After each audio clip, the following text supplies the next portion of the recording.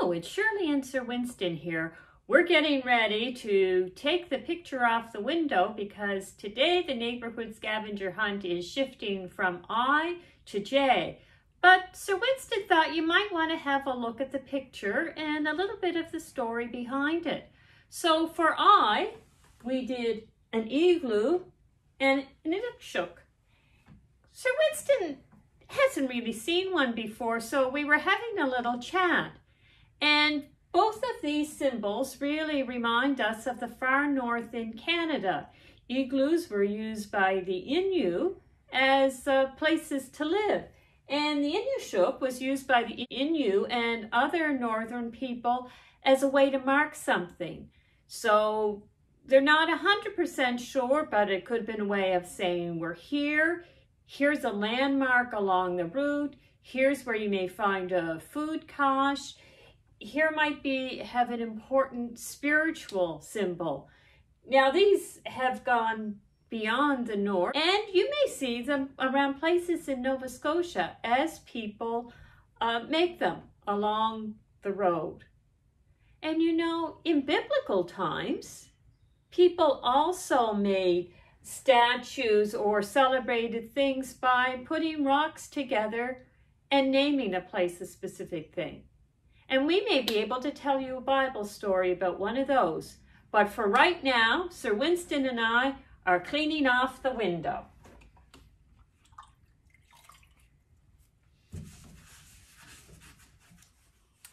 As you can see, we got the window painted. We have with John and Jesus in the River Jordan. Now, the Old Testament is full of stories about people who built uh, stone altars or gathered stones together as a way either to honor God or remind people of what God did, uh, memorials over people that died, or reminder of covenant or promises made. So Sir Winston and I thought we'd tell you a story about one of those, and it involves the River Jordan. Now, as you may remember, the Israelis, the Israelites rather, had left, as you may remember, the Israelites had left Egypt under the leadership of Moses. They were slaves and he was bringing them to the promised land. Well, for 40 years they wandered in the desert and Moses died and Joshua became their leader and they were so close to the promised land, they could see it, but there was one thing that stood in their way, the River Jordan. Now, in a lot of cases, the River Jordan is not very deep, and you might be able in some places to wade across it. But this wasn't the case now. It was in full flood and if people had tried to cross it, they would be drowned. But God had a plan, and he told Joshua, and Joshua told his people what they would do. He had them pack up their camps, and they were to follow the priests carrying the Ark of the Covenant. Now, the Ark of the Covenant was kind of like a big box, very special one, because inside it had the tablets that had the Ten Commandments on them, and it had Aaron's staff, and it had a container of manna. And it had rods on the outside so that it could be carried by the priests. But it was even more special than that because it was a symbol of the presence of God it was said that God kind of spirit resided on the mercy seat, which was part of the top of this box. So the priest had put the rods on their shoulders to carry the Ark of the Covenant forward.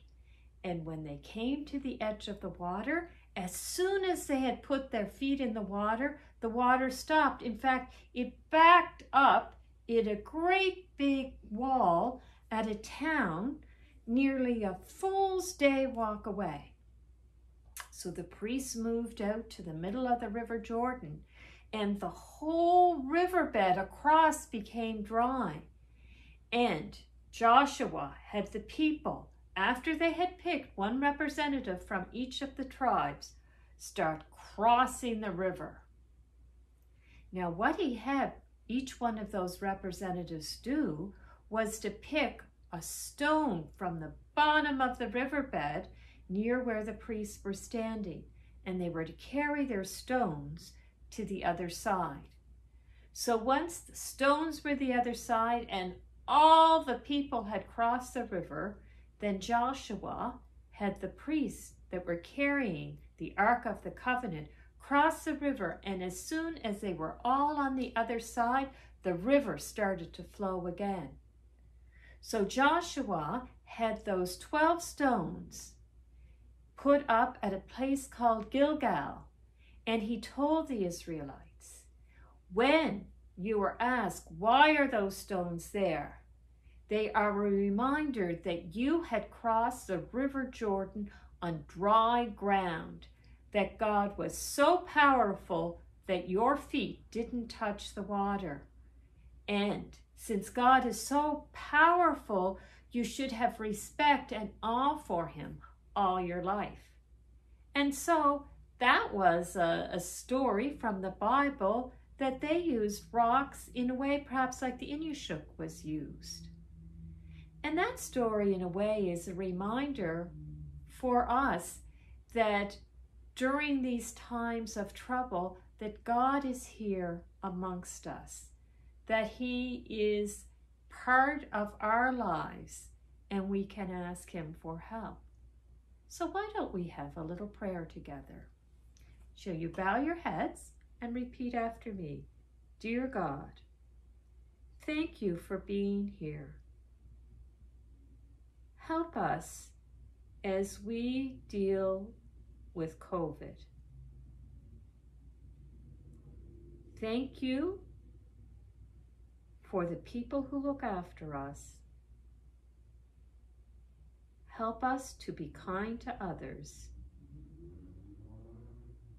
and look after your world. Amen. And we'll see you next time at Kids Corner.